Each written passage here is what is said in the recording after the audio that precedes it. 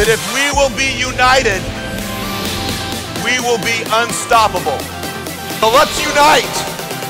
Unicity.